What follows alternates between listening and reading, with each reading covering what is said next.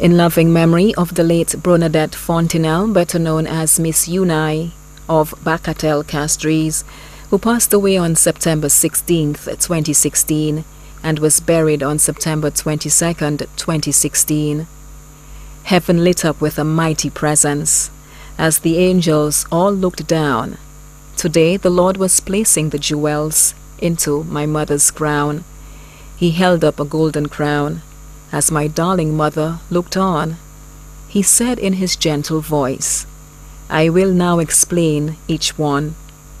The first gem, he said, is a ruby, and it's for endurance alone, for all the nights you waited up for your children to come home, for all the nights by their bedside you stayed till the fever went down, for nursing every little wound, I add this ruby to your crown.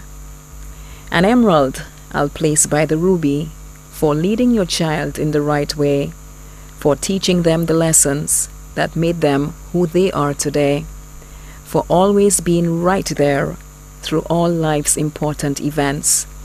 I give you a sapphire stone for the time and love you spent, for untying the strings that held them when they grew up and left home. I give you this one for courage then the Lord added a garnet stone. I'll place a stone of amethyst, he said, for all the times you spent on your knees, when you ask if I'd take care of your children, and then for having faith in me.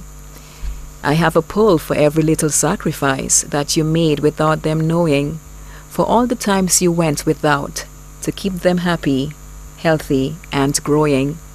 And last of all, I have a diamond, the greatest one of all, for sharing unconditional love, whether they were big or small. It was your love that helped them grow, feeling safe and happy and proud.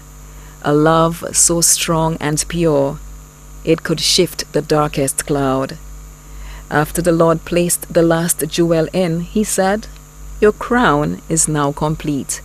You've earned your place in heaven with your children at your feet. May she continue to rest in perfect peace. Words provided by her family